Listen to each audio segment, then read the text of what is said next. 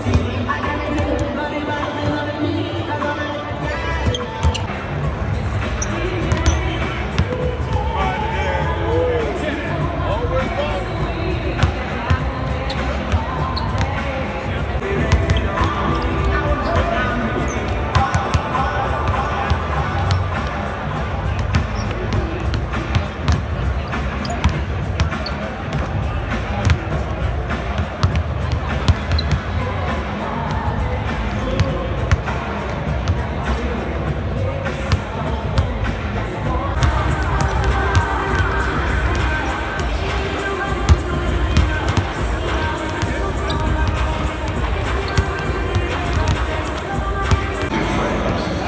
glasses that spark conversation to the ideas that then pour uh, out. Ours came from a night like that, and somehow survived the morning after to make our own tequila.